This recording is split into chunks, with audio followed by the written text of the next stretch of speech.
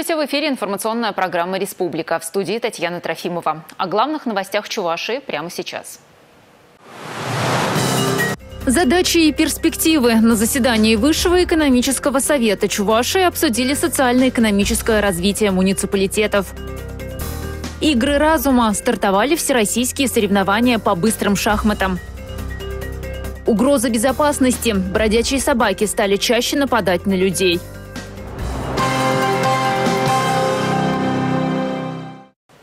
Стратегии развития региона в разрезе социально-экономического развития двух муниципалитетов Козловского и Урмарского районов обсудили сегодня на заседании Высшего экономического совета.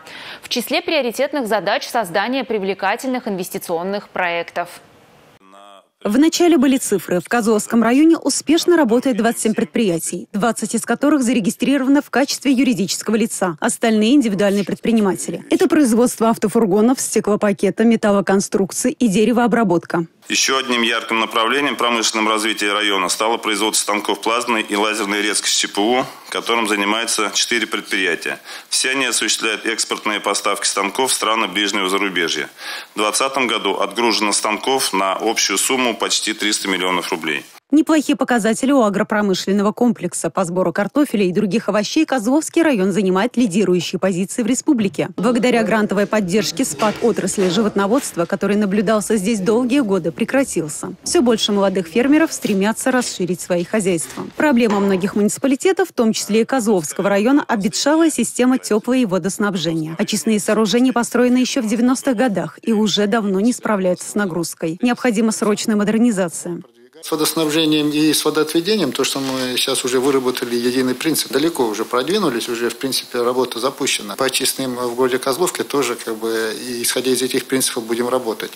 Но, получается, аналогичную работу надо провести и по, тепло, и по теплоснабжению. Реконструкция сетей позволит ввести гибкую тарифную политику, удерживая цены на приемлемом уровне. Еще один важный вопрос – обеспечения жителей малых городов жильем. Надо сделать так, чтобы туда пришли строители. Оживить процесс помогут будут меры стимулирования для застройщиков. В приоритете обеспечение инвестиционной привлекательности. Решением этой задачи занимается сейчас в Урумарском районе. Программа включает 80 проектов э, на сумму 1 миллиард 786. Есть э, свои коммерческие инвестпроекты.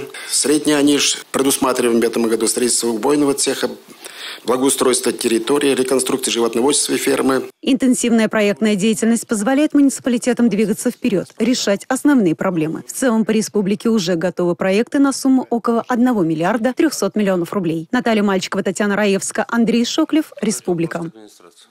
Сегодня в столице республики прошел семинар в сфере финансовой грамотности. Темой разговора стало страхование вкладов.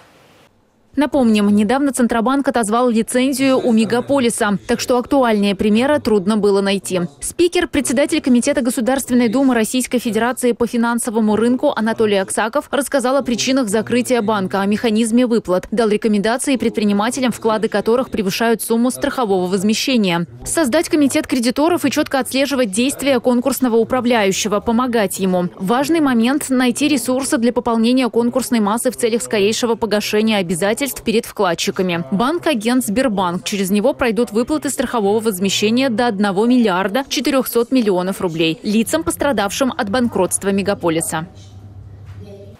Цифровая трансформация. Стартовал очередной сезон обучения по федеральной программе «Кадры для цифровой экономики». Слушателями образовательного интенсива стали представители бизнеса различных министерств и ведомств. Федеральный проект «Кадры для цифровой экономики» работает уже два года. За это время уровень цифровой грамотности повысили и жители Чувашии. Участники очередного семинара получат компетенции в области управления на основе больших данных. Формат программы подразумевает обучение цифровым компетенциям и проектной деятельности. Одним из результатов интенсива станет проработка собственных проектов. Обучение, которое, э, уважаемые коллеги, вам предстоит за эти два дня пройти, даст э, глубокое понимание э, и глубокое сознание, а, для чего нам все-таки нужна цифровая трансформация. Те кейсы, которые непосредственно а, вы взяли в проработку, по результатам вот, э, непосредственно программы «Клик» можно будет реализовать уже в какой-то краткосрочной перспективе непосредственно в ваших ведомствах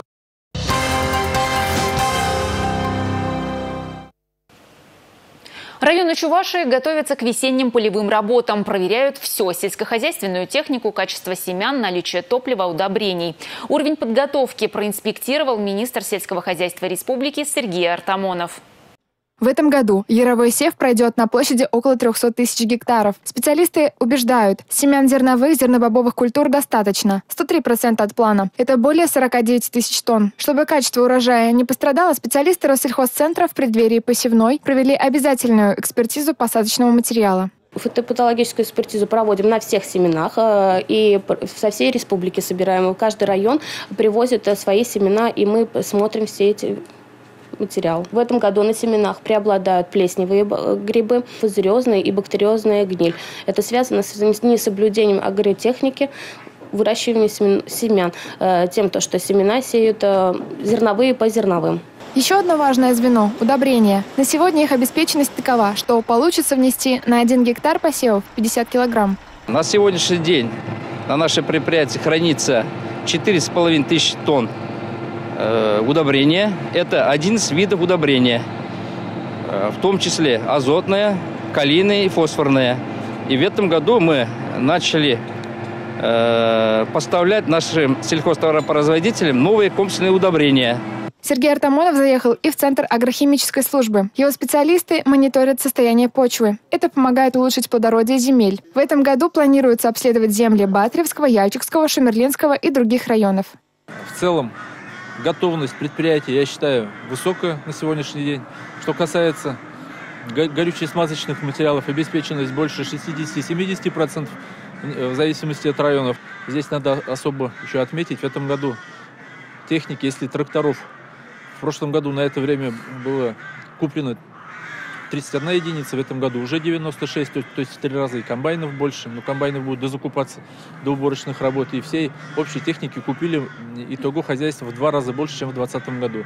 Это для нас тоже ощутимый результат, это позволит нам своевременно и быстрее в течение двух недель практически Энергообеспеченность позволяет нам в течение двух недель закончить весеннюю полевую работу при слаженной работе. Государственная поддержка для сельхозтоваропроизводителей в этом году тоже будет. Ее размер – более трех миллиардов рублей. Ульяна Пятакова, Николай Скворцов, Республика. Команда канашских школьников показала лучший результат в Приволжском федеральном округе в интеллектуальной игре 14-18, посвященной истории Великой Отечественной войны. В самом названии игры зашифрована одна из главных цифр Великой Отечественной войны. Она длилась 1418 дней. Конкурс юных историков прошел в марте этого года. В прямом эфире, используя метод мозгового штурма, команды школьников от 14 до 18 лет отвечали на вопросы. Самое сложное было то, что во время игры надо было отвечать быстро. Как бы учитывалось время. Но из-за того, что наша команда была довольно сплоченной, все ребята были как бы знакомы между собой, общение как бы было близким довольно-таки, я считаю, из-за этого всего мы смогли справиться с, с этой задачей. Участвовать в игре подростки решили не случайно. В июле 1941 года почти весь выпуск во главе с классным руководителем ушел на фронт, а сама школа почти на 7 лет стала госпиталем для раненых солдат и офицеров. В Канаше на узловой станции часто оставляли самых тяжелых больных, которых нельзя было вести дальше. Выхаживали их всем городом. Готовясь к конкурсу, ученики Канашской школы номер 8 смотрели советские фильмы, читали художественные произведения и расспрашивали про бабушек, про дедушек о военных годах. А, интеллектуальная историческая игра 1418 а, проводилась в Российской Федерации впервые. Мы очень были обрадованы тому, что именно ребята из Чуваши, команда Канашской школы номер 8 заняла первое место. А конкуренция была, я скажу, жесточайшая. Полторы тысячи команд из Приволжского федерального округа, из всех регионов принимали участие в этой игре. Тем более достижение очень ценно. 29 апреля в Чувашии пройдет диктант Победы. Ребята уже готовятся к новой масштабной проверке знаний. Ольга Семенова, Николай Скворцов, Республика. К другим темам. Стаи бездомных собак на улицах городов и сел становятся уже привычной картиной, особенно весной. Но лишь немногие задумываются о том, что это угроза нашему здоровью. Только с начала этого года произошло уже 52 инцидента. По-новому взглянуть на ситуацию с братьями нашими меньшими заставил закон об ответственном отношении к животным. Причем речь идет и о домашних питомцах, и о бродячих. И если по поводу первых особых проблем, как правило, нет, то бездомные животные вызывают тревогу. Особо напряженная ситуация сложилась в Чебоксарском районе. Здесь стаи собак бродят по дворам в поисках еды. Они все постоянно здесь гуляют, потому что мусорные отходы здесь у нас вышли. Все они собираются. Чтобы туда не подходили люди, они нападают хором. У меня тоже случаи были, на меня напали. Хорошо, рядом машина была. Я защищался. У меня двое детей. Когда мы идем в садик, а, по пути мы проходим а, мусорные контейнеры, там очень много собак бегают. Пожалуйста, вот на нашем фоне лежат двое. Они пару раз нападали даже на нас. Бывают случаи, вот случай сейчас был возле школы, там вообще одного, на одного ребенка напали. Собаки воют по ночам, мусор вот э, разбрасывают. Нужно что-то предпринять, но никто пока что вот не знаем, что делать. Многие пострадавшие обращаются в правоохранительные органы. По каждому из таких сообщений проводится проверка. В случае, если потерпевшему причинен вред, а у животного имеется хозяин, последний привлекается к административной ответственности. В случае с бродячими животными полицейские оказывают содействие городским районным властям в решении проблемы и обеспечении безопасности. Решить проблему поможет строительство приютов для бездомных животных. Этого требует и закон. Ответственность лежит на местных органах самоуправления. Сейчас в республике приют есть только в столице Чувашии. На очереди Шумерля и Чебоксарский район. В планах построить еще один в Чебоксарах. Планируем на этой неделе в числах 8 объявить аукцион. На территории Чебоксарской станции по борьбе с болезнями животных, которая находится в поселке Кугеси, на данный момент ведется работа по ремонту старых зданий, и в дальнейшем они будут принимать животных, э, животных без владельцев. Конечно, ветеринарная служба Чуваши контролирует вопрос отлова бродячих собак. Из бюджета им выделяют средства. Но вот куда отправлять бездомных животных дальше – большой вопрос. И он связан прежде всего с гуманностью нашего общества. В связи с вступлением в силу федерального закона об ответственном обращении животных э, в республике, как и в целом по стране, э, сложилась сложная э, ситуация по данному вопросу. В текущем году также э, в 13 муниципальных образованиях заключены договора на отлов бездомных животных, и мероприятие проводится. А если все же бездомная собака напала на вас и укусила, то надо немедленно промыть место укуса водой с мылом и наложить давящую повязку для остановки кровотечения. После сразу же вызвать скорую. Животное может болеть бешенством. Бригада медицинской помощи доставит вас э, в травмпункт одной из медицинских организаций города Чебоксары или республики, где вам проведут уже дополнительные медицинские мероприятия, то есть по очистке раны и профилактике инфекций, различных заражений и инфекций. Конечно, многое зависит и от людей. Большинство уличных собак когда-то имели свой дом, но хозяева решили лишить их тепла и любви. Помните, мы в ответе за тех, кого приручили. В эту субботу в ТЦ «Мегамол» на нулевом этаже с 12 до 18 часов будет проходить благотворительная выставка по пристройству щенков и собак из приюта «Право на жизнь», где каждый желающий сможет осчастливить маленького друга. Ольга Семенова, Николай Скворцов, Андрей Шоклев, Республика. Школьники республики включаются в проект «Киноуроки в школах России». Ребята собираются снять фильм об одном из главных аспектов человеческих отношений – об уважении. Уже начались кинопробы для участия в съемках. Над фильмом об уважении юные кинематографисты намерены работать максимально самостоятельно. Даже средства на съемки они зарабатывают сами, сдают макулатуру. С начала марта ребята со всей республики собрали около 50 тонн из 150 необходимых. Конечно, этот а, актерский или продюсерский опыт, а, он пригодится нашим детям, потому что самое главное детям чувствовать себя создателем, а, творческим человеком, потому что дети вот изначально к этому очень склонны, и очень важно вот этим росткам дать прорасти, ощутить себя действительно а, творцами.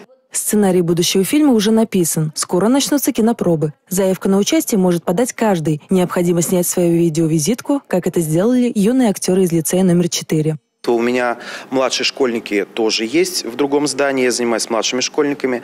И вот специально под этот проект мы выбрали четверых ребят, отсняли их, поработали с ними, отсняли их кинопробы и отправили на проект, а дальше посмотрим, выберут ли наших ребят.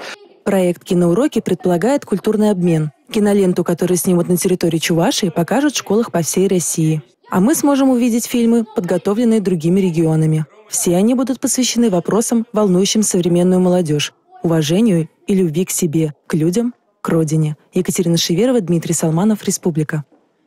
Известны работы, представленные на соискание Государственной премии Республики в области литературы и искусства за 2020 год. В перечне книги, спектакли, кинофильмы, получившие общественное признание. Лауреатами традиционной ежегодной премии становятся ученые, писатели, художники и музыканты. В этом году на высокую награду претендуют семь работ. Две из них – это новые книги, переводы чувашской народной афористической поэзии и поэмы «Нарспи» на английский язык под названием «Сто стров» и «История Чувашского края» в уникальных архивных документах. Она, в принципе, должна заинтересовать читателя и подтолкнуть его к изучению. Смысл не в том, чтобы ему все разжевать. Смысл заинтересовать, поскольку это издание не сугубо научное, а больше именно такое популярное, рассчитанное на массовую аудиторию. Здесь, как мы думаем, э, любой человек, который даже не очень сведущий в гуманитарных дисциплинах или истории, но интересуется да, этим краеведением, спектром других гуманитарных дисциплин, легко поймет, о чем идет речь. Чувашский государственный театр оперы и балета представил на конкурс сразу две работы. Это балет Андрея Галкина «Аттила. Рождение легенды», охватывающая историю многих этносов. И опера Николая Римского-Корсакова «Царская невеста». Масштабные постановки заставили по-новому взглянуть на творческий потенциал коллектива. Ума идет красавица,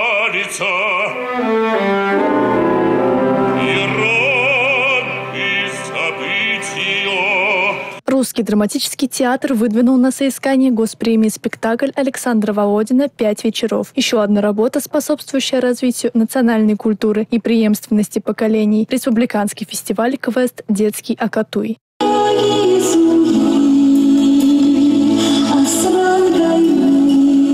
В числе номинантов фильм, рассказывающий о жизни и творчестве выдающегося поэта Чувашии «Люди-легенды» Михаил Сеспель. Государственная комиссия с учетом критериев рассматривает все заявки. Открыто голосование и на сайте Народного контроля Чувашии. Оно продлится до 24 апреля. Инесса Потапова, Татьяна Раевская, Андрей Шохлев, Республика.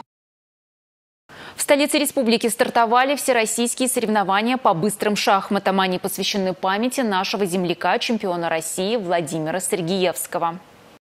Владимир Сергеевский внес огромный вклад в развитие шахмат в Чувашии. Среди его учеников сотни спортсменов массовых разрядов, перворазрядники и кандидаты в мастера спорта. Последователи знаменитого гроссмейстера в республике более 15 тысяч человек. Причем в мир шахмат с равным удовольствием погружаются и взрослые, и дети. Некоторые занимаются этим вполне профессионально. Прохождение таких масштабных, очень э, высокоранговых соревнований на территории республики, это, конечно же, мощнейший стимул, прежде всего для того, чтобы действующие спортсмены, действующие или активные любители шахмат э, оттачивали свое мастерство. Ну и самое главное, это дополнительный фактор для вовлечения все новых и новых э, людей в это направление спорта. Чтобы поставить шах и мат, в республику приехали мастера из 19 регионов России. Воля жребия может свести за одним столом начинающего шахматиста и профессионала, но интеллектуальная игра вполне может идти на равных. Вчера немножечко поиграли, сеанс одновременной игры Ольга Гири давала, с ней сыграла в ничью, вот немножечко такая тренировка прошла. Очень рада, что приехали гроссмейстеры со всей России, очень хотелось бы с ними сыграть. Просчитать победные ходы надо за считанные секунды. Эту систему игры называют швейцарской. На партию дается 15 минут с добавлением 10 секунд за каждый сделанный ход. Первый символический ход предоставляется главе республики Олегу Алексеевичу. Поехали. Ожидается, что завтра в республику приедет знаменитый шахматист, заслуженный мастер спорта СССР Анатолий Карпов. Турнир завершится в воскресенье. Призовой фонд составляет 540 тысяч рублей. Инесса Потапова, Алина Сусметова, Андрей Шоклев, Республика. Паводок 2021. В Чувашии зарегистрировали первые случаи подтопления домов талыми водами. По данным управления МЧС, затоплены придомовые территории и отдельные участки в населенных пунктах Батаревского, Порецкого, Цивильского и других районов. Еще в трех сохраняется угроза паводка. Сейчас высота снежного покрова на 20 сантиметров превышает среднемноголетние показатели. Толщина льда на реках больше обычных показателей на 5-13 сантиметров. При таких условиях весеннее половодье может подтопить до 200 домов в Алатаре, в Яльчикском и Комсомольском районах. Для реагирования на возможные чрезвычайные ситуации создан создана группа из 1200 человек, 240 единиц автомобильной и инженерной техники, 13 плавсредств. Это главные новости Чувашии в пятницу 9 апреля. Хороших вам выходных.